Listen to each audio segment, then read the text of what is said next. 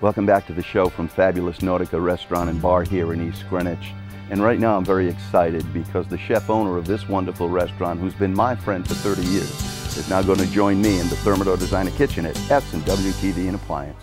What are you going to make for us today? This is called Pasta Nordica, great summer dish. And when you say a great summer dish, you have a great summer restaurant, certainly a Rhode Island waterfront dining destination on Greenwich Cove, Nautica Restaurant and Bar. You and your beautiful wife, Cheryl, you two do a wonderful job running that restaurant with your two beautiful daughters. It's a whole family affair there. Michael and Gabrielle are a big part of the restaurant. Absolutely. We're gonna start with a little bit of uh, olive oil. Sure. This Italian recipe has uh, shallots instead of garlic. A little bit of kosher salt, a little bit of cracked black pepper.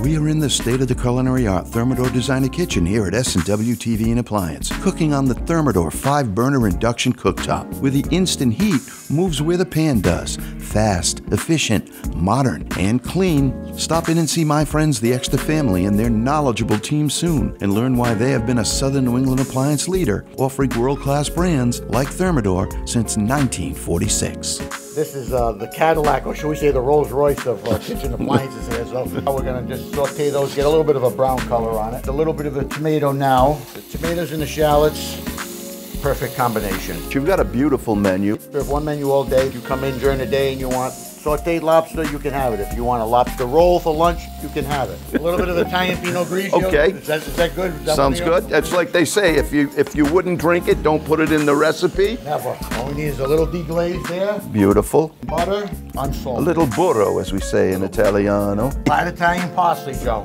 Don't get the curly stuff. Oh, this smells great. Add a little bit of uh, julienne basil in there. Oh, yeah. How about a little bit of fresh lemon juice?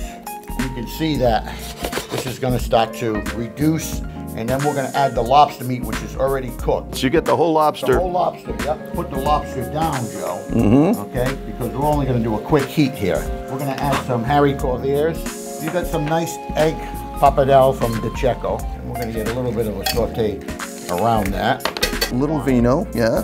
We're gonna finish with a little more butter. Absolutely. Touch more salt because we have to salt the pasta now. Another little squeeze of lemon. A little more basil. So ah. let that combine, okay? Now we turn the lobster over because that's already heated through. Get the pasta, center of the plate. Alrighty. Nice little cascade of some green beans, Joe.